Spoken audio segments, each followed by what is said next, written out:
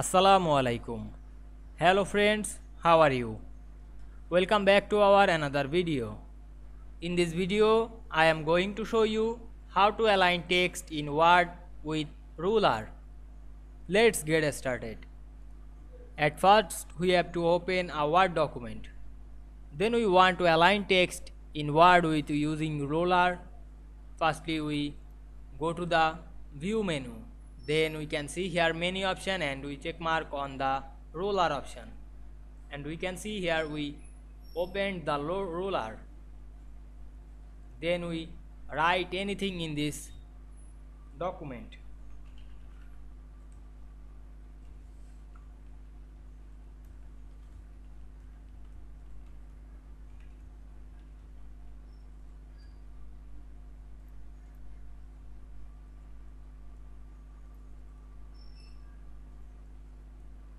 then we want to align this text using ruler with select the text and go to the home menu. Then align center or align left or align right or align justify.